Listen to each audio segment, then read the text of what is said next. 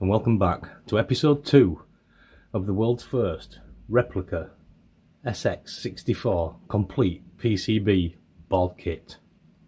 Um, right, okay, so on this week's episode we're going to be installing the CPU board into the SX and see whether it converts it from PAL, oh, sorry, from NTSC to PAL. Um, we'll start it up and check it.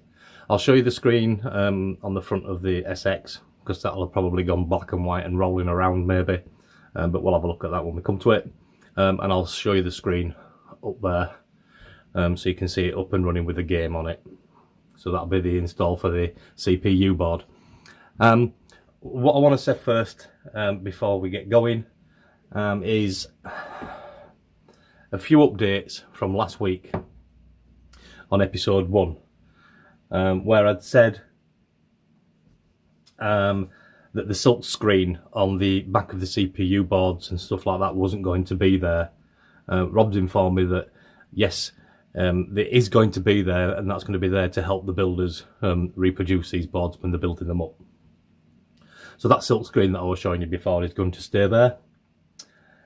Um, the keyboard Gerber file is now complete, um, so I'm, I'm, presuming that's going to be going away. Rob said it's, it's finished, is the Gerbers um, so it must be going away for production on the keyboard PCB.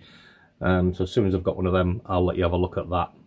I have the membranes coming. I have also decided um, that I'm going to put a Kawari Vic in there as well. So I've ordered one of them. So that should be coming shortly. I'll put pictures up as I'm talking along for you.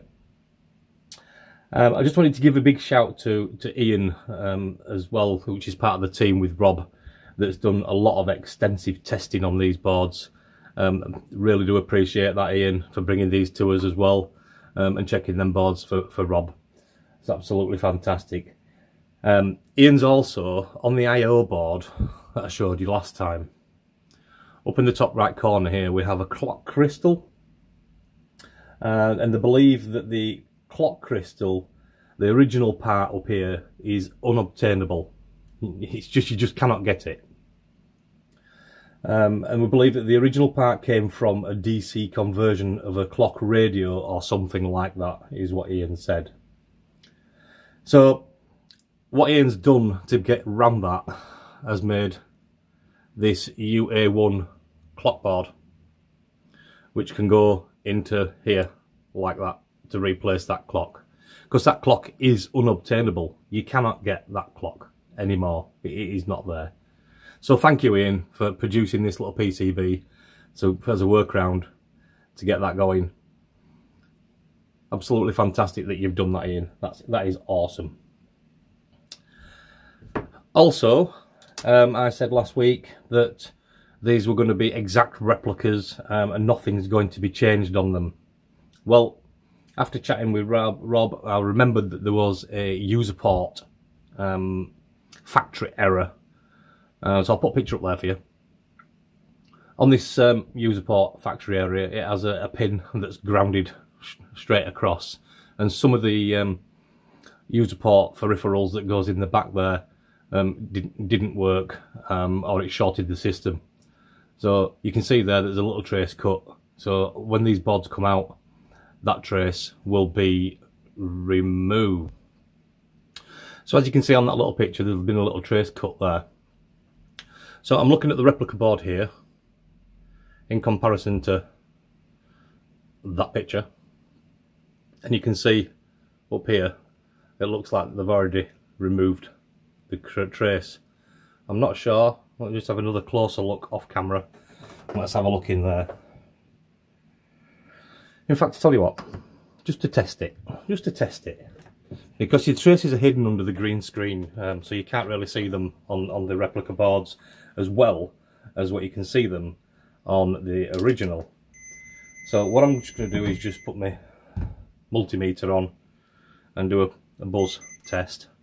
So in theory, if I'm right, that top right pin and the in just one, just the inner one, will be connected on the original. So let's see if it is on the replica board. Yes, it is. So we can see that them two pins out of that picture are connected so there will be a trace that needs to be cut in between there, just in between them two pins. as in that picture um, and that should rectify that factory error. Guys, if you're enjoying these videos, please hit the subscribe and the notification bell for the up and coming videos. Um, for everybody that's already subscribed, thank you very much. All your support is very much appreciated. It helps the channel um, tremendously. Um, if you'd like to get involved, we have got a Facebook group, which I'll post up there. We're also on Twitter, Instagram and Patreon if you want to come along and support us at Patreon.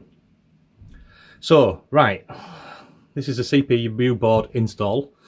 Some of you probably just sat there thinking, thinking that is not the replica CPU board. Well, you'd be right there. This is an original NTSC CPU board. The reason for that is I didn't want to bore you showing you me plugging it all in into the into the SX and speeding up the video like we did on last week's. Um, so I thought I'd pop that in there um, and then we can bring the SX out and, and show you exactly what's going on and whether that CPU board actually works. So if you give me a second, I'll plug in the SX, I'll bring the SX out here, I'll plug in the SX um, and then I'll set the camera up and we'll do a, a switch on and I'll show you the CPU board that's actually installed in there. So I've just taken the camera off the tripod for a minute so I can show you. There you can see the CRT controller, which is one of Rob's replicas. Um, you can see how that the CPU board is installed. As you can see when I showed you on the other pictures. So we're all installed in there. If I pan over and see if I can show you into there. Can I put you the light on? Yes. So you can see in there the CPU's installed in that board. So you can see down there there's a new clock board which Ian made and that chip that you can see at the top there is your VIC chip and if you notice there's a great big lump of room in between the VIC and the casing for what holds the disk drive. So there should be enough room in there to actually add the Kawari board. Um, sorry it was a bit shaky, but I've taken you off cam. Right, so I'm just going to move this SX out of the way and get it plugged in and set up so you can take a look of it up and running. And I can get this camera back on that tripod and stop me from shaking. Right, okay. Time for the big switch on. So we've got the SX replica CPU board installed, the CRT controller board is installed. Um, I've got a game cartridge here to try. Um, so all there's left to do is, is flick that switch. Um, I know you can only see half of the big screen and you can only see part of the SX screen. So I'm going to pan you down for the SX while I switch on. It will take a few seconds for the screen to come on because it has to warm up.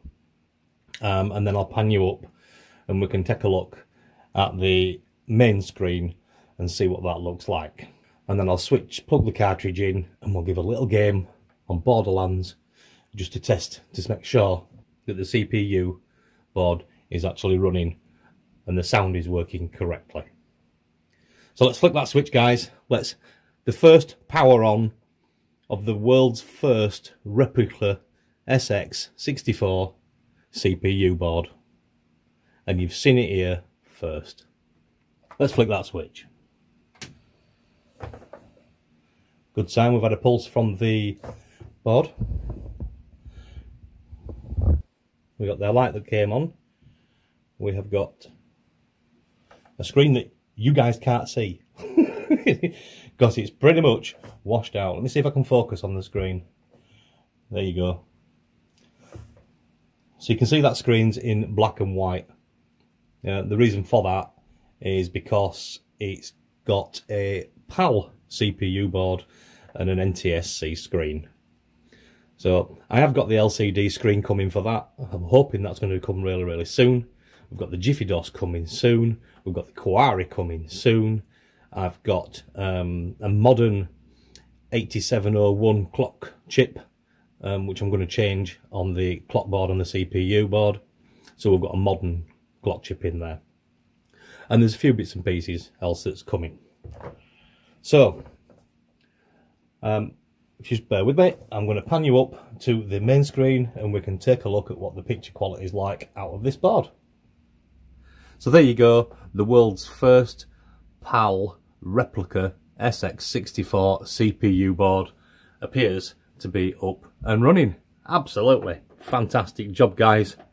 That is awesome.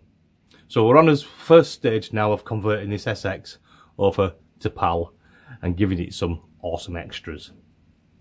Right. So what I'm going to do now is just flick the switch. We'll plug Borderlands in. I hope the sound's not too loud. If not, I'll have to adjust that for you. But I'm going to do that without editing so you can see it's going to crack straight up. So let's do that.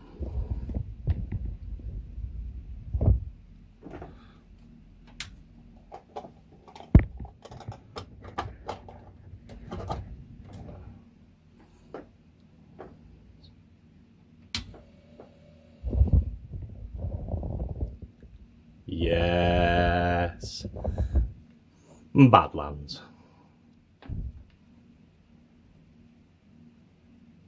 Always starts like this, guys. That's awesome. Have we got sound from the SX as well? That sound's coming from the TV at the minute, so I'll just turn this volume up on the SX.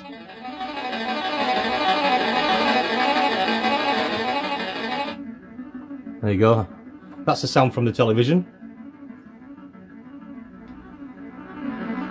So we have got audio out. Mute that sound on that television now.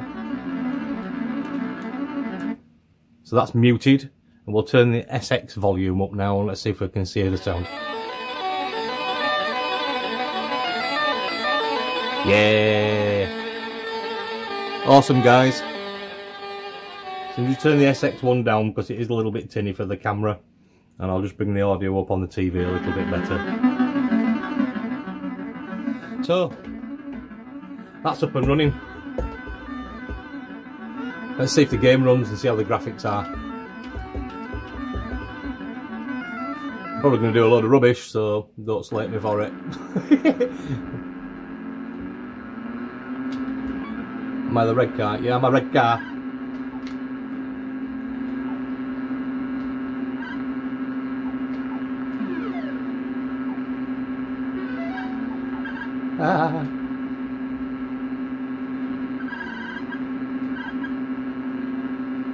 Well, that's awesome. That's awesome. Absolutely awesome.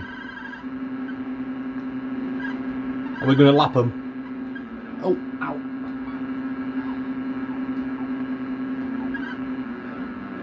Oh, what's going now?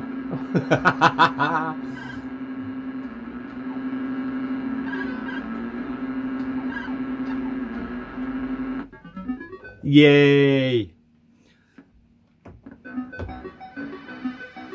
So guys, that's the first. So that's the world's first replica SX64 CPU motherboard that's up and it's running and boy does it look crystal clear on that screen. I'm really really surprised. I'm looking forward to putting the Kawari VIC in there um, if you've not heard about the Kawari Vic, um, have a look up on the internet. I'll try and find a link for the website so you can take a look and I'll drop that down in the description. Just turn that volume down. So I'm going to try and put um, a link in the description at the bottom um, for these things, for the Kawari um, and the LCD screen. I think everything will be down in the bottom. So yeah, that's absolutely fantastic, guys. Um, that little bit of flickering there on the graphics, I think that's the VIC. So I think, yeah, it is the VIC chip. So I'll, I'll retest it and I'll show you again once the Kawari is in.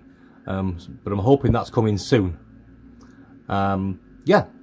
So thanks for watching again, guys. Um, if you've really enjoyed this episode, please hit the like and subscribe and the notification bell for the up and coming videos. So, and we'll see you on episode 3.